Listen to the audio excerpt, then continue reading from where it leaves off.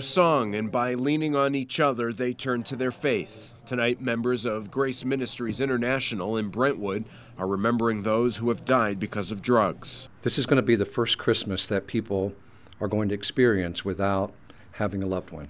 A small but moving tribute was held at the church as people took a microphone to tell their stories and bring a message to others who are struggling. Every single one of you deal with wanting to be accepted, or wanting to feel you're okay, or wanting to know you're loved or that you belong.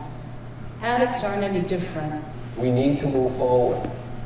Instead of be crippled by this thing, we need to take a stance and say no more. Kathleen Bossy says her daughter's boyfriend died a few years ago from a heroin overdose.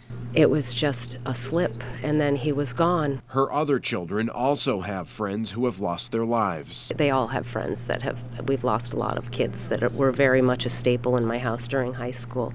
In addition to praying for the families, Pastor Alan Cook says more action needs to be taken use every resource we have, whether it's faith based, whether um, it's political based, every resource that we have to, to end this incredible tragedy. With many hurting this time of year over the death of a family member, Cook says to remember the good times. They also have the memories of that person. They have the times when they were together, the love they shared together. And I would encourage them to focus in on that instead of just the loss.